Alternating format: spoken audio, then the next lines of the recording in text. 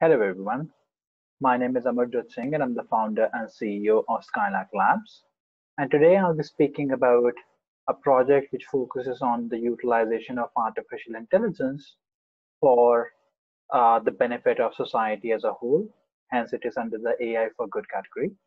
And the project focuses on utilizing AI to recover children who have been abducted and pushed into brothels in India.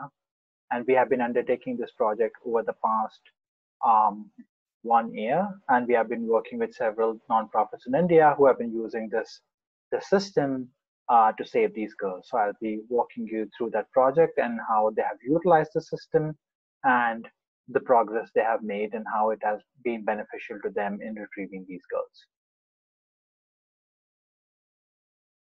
So as I mentioned in the talk, I'll go through the problem of human trafficking in India. Then I'll go through child trafficking in the place where we ran these pilots, which is a place called Varanasi. Then I'll speak a bit about the nonprofit which is using our system. Then I'll go into the system itself, which is the CENSER system. And finally, I'll go to the conclusion. And the picture which you see on the right is uh, of this lady who's one of the founders of this nonprofit called Guria with whom we work. And these children are some of the children they have retrieved from the brothels.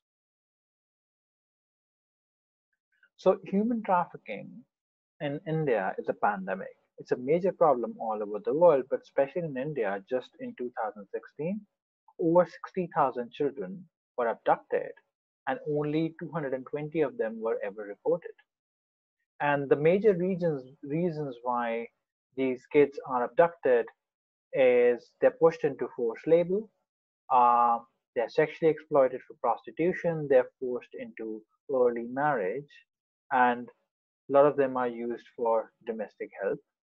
And the major um, hotspot, if you will, which which is in which is Varanasi, the place marked with a star, is where kids are kidnapped from all over the India and pushed into the brothels over there. And that was the reason we chose uh, this particular place to run a pilot so that we could save as many kids as possible because it's uh, there are a lot of the children who are uh, missing are in this in the brothels over here.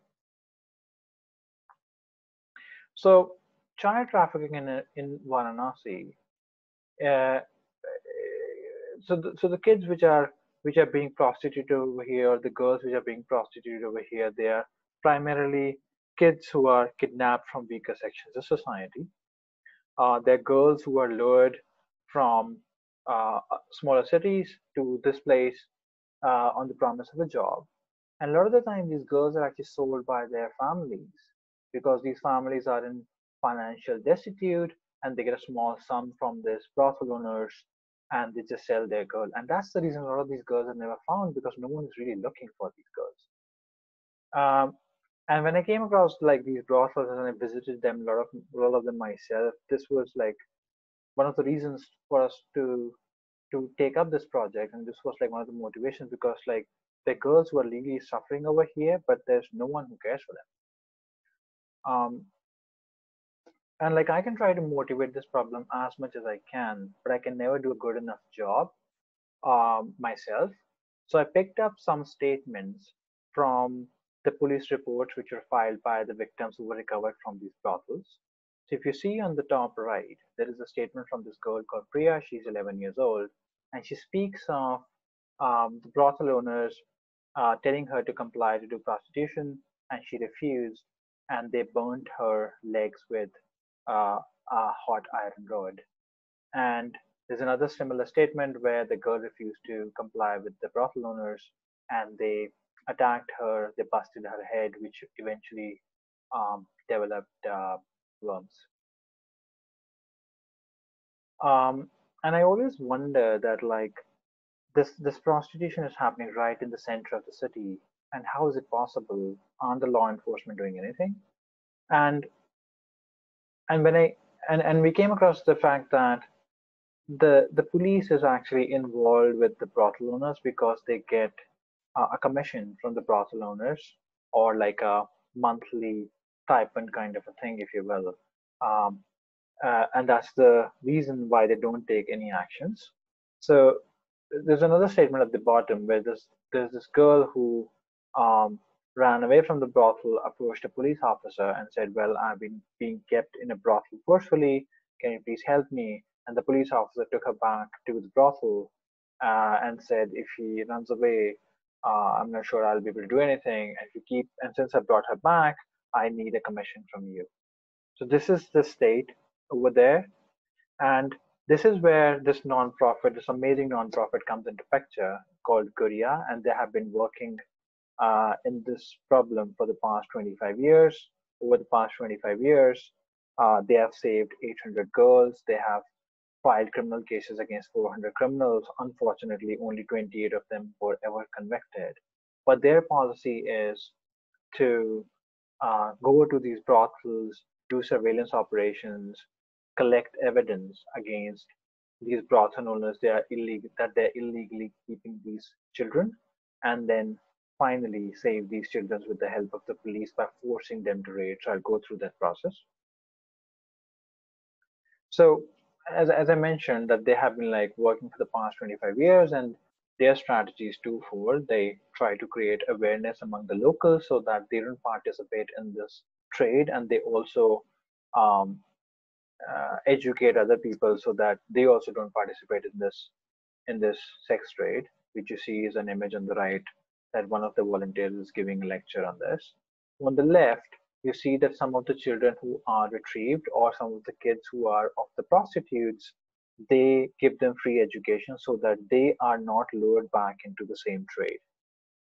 So that's a picture of a school which is right in the center of the of the red light district.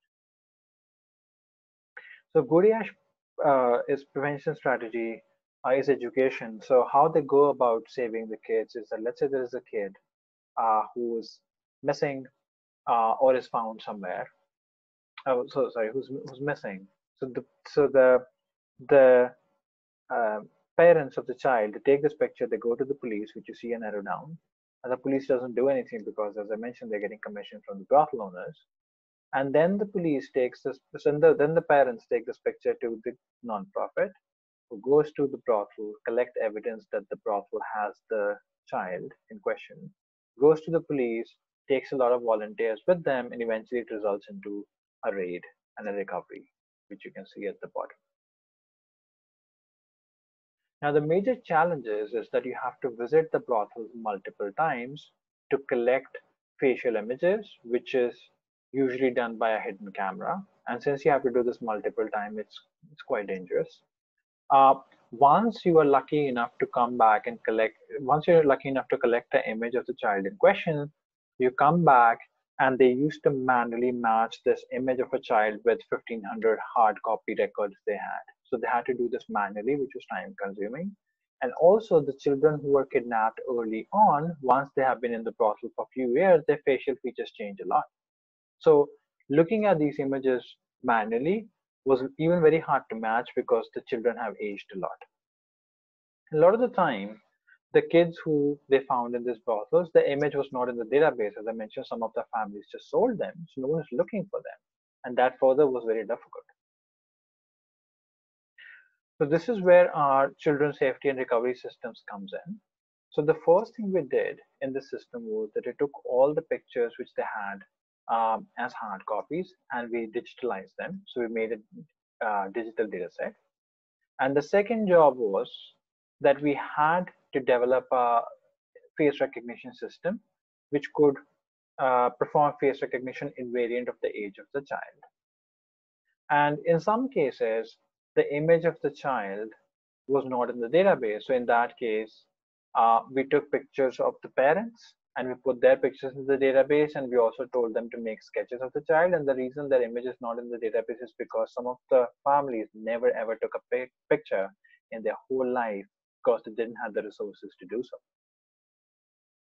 And so this is where our system uh, if it made a right match which was like very quickly as compared to the manual matching which they were doing before uh, they would take this information to the police and convince them to raid so so our system was primarily helpful in collecting this evidence uh, that a certain child is being held uh, in the brothel. So as I said, uh, the first step was uh, digitalization of the hard copy images which they had. You can see on the right side, the, these are the examples of some of the kind of images they have had. And you can see the, uh, the images are there, they're in very bad shape. Some of the images are uh, have like these writings on it. Uh, they have like this um, grainy stuff in it. They're noisy. Some of them are blurry. Some of them have been smoothened out by the photographers. So um, the facial features are more or less destroyed. So it was a very hard problem to solve. Um, so once these data sets have been um, uh, digitalized, uh, the objective was that we want to build an age invariant system. And you can build an age invariant system by collecting images of people at different ages and then pushing them through a model which learns to uh, which learns parameters which tells the model that all these images which have aged over time belong to the same person. Uh, and for some of the images, uh, for some of the cases, we had multiple images. But for most of the other cases, we just had a single image per person. So we have so we used uh, generative adversarial models to generate these age uh, these images which vary with with age. So you can see some examples of these cases uh, on the right hand side. And once we generated these images of uh, of uh, children at different ages,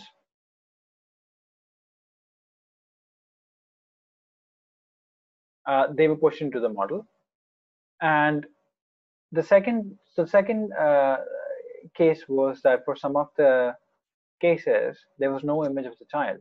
So in that case, we would draw a sketch of the, we would tell the parents to draw a sketch of the children, and this would be later used to uh, learn age invariant system, which could also work with sketches. And finally, for some of the children, there is no picture of them in the database because the parents never took the picture. So in that case, we take the pictures of the children and uh, this is further used to generate a model which can do kinship analysis.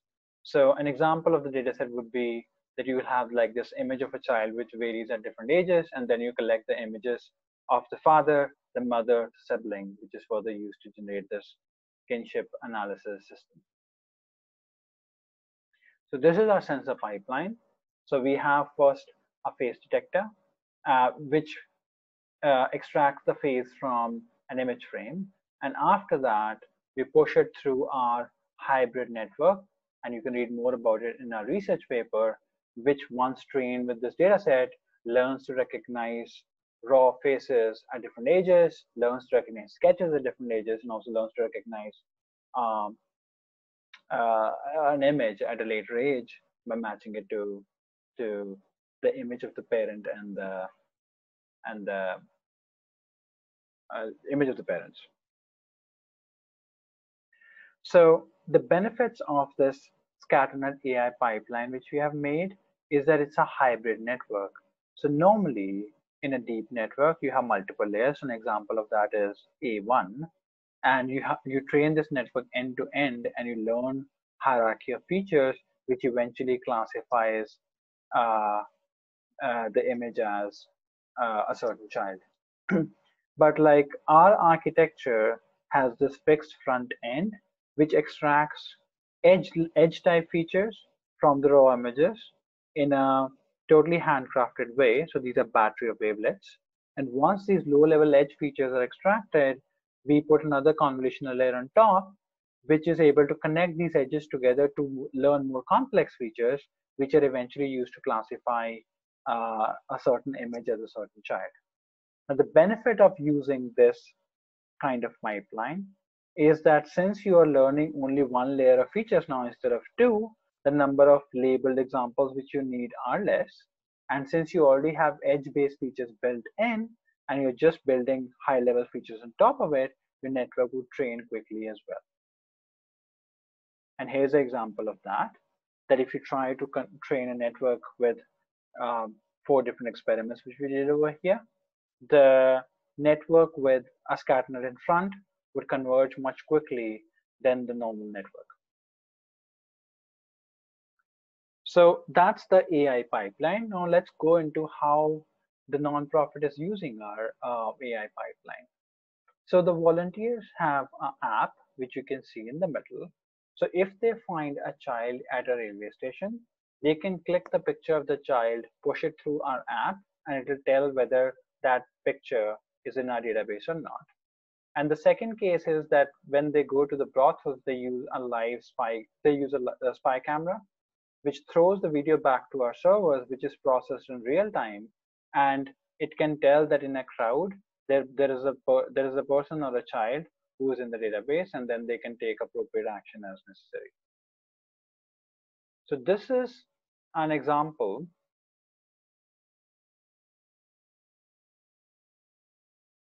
of one of our field tests where we're trying to look for a specific person in the crowd.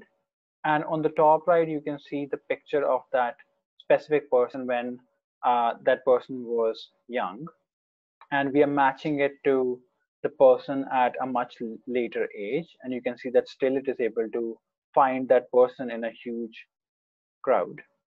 Uh, and you can see that the, this is another example where we are trying to find the person at the top in the crowd.